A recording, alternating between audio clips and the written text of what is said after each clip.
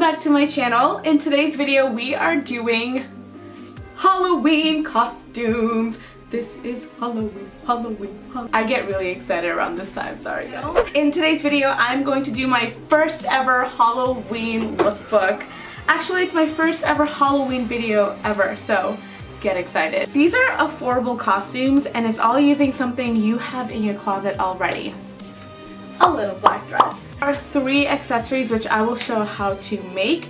Um, and as long as you have those accessories, you can turn this little black dress into so many different costumes. The possibilities are endless, but we're sticking to three in this video. Please give this video a thumbs up if you liked it. Um, go ahead and hit that subscribe button down below. I don't know where it is. And yeah, let's get rolling. I hope you guys like it. Mwah.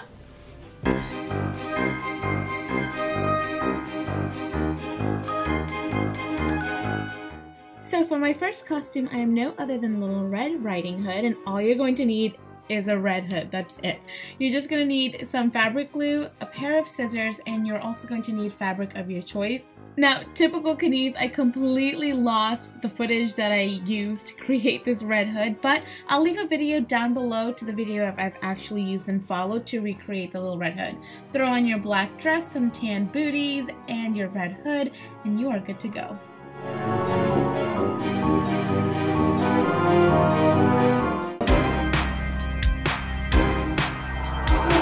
Costume is Minnie Mouse and the biggest thing with this outfit is the skirt. You're to need some red tulle, elastic, and scissors. Wrap the elastic to measure around your waist and then remove about 4 inches. Cut it off and tie it and make sure that sucker is secure. Take your tulle um, as long as you want, cut out many pieces, fold it in half, and put one end through the loop of the elastic. Then take the other two and then go inside the loop that we've created, if that makes any sense, you can see in the video. And you're going to repeat this process over and over again until it is completely wrapped around the elastic.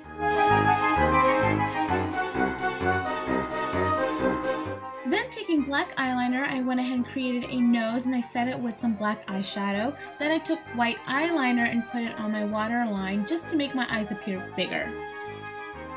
To keep things simple, I kept my stockings on and my tan booties, but of course you can wear red or black shoes.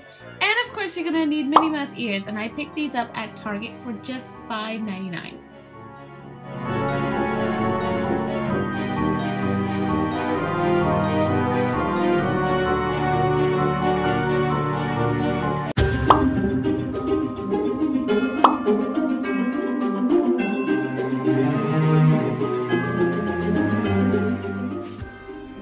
last and final costume is a bat, and it's probably my favorite and most easiest costume that I've made. You're going to need two yards of black fabric, scissors, a white pen or chalk or whatever, and elastic.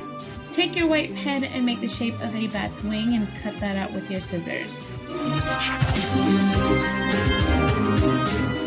Once you cut it and open up, you can see it's a huge bat wing that you can attach to your back. Now take two 2-inch pieces of elastic, take two ends and use some fabric glue to attach them together. And you're going to take those and add it to the end of those wings. That way you could fit it through your fingers.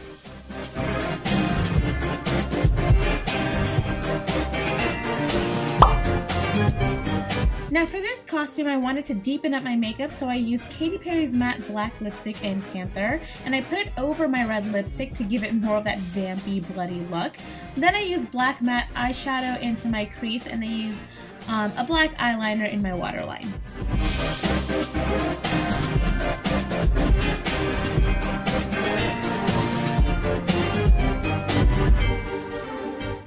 Thank you guys so much for watching. Please leave a comment down below on which one was your favorite costume. I'll see you next time. Bye.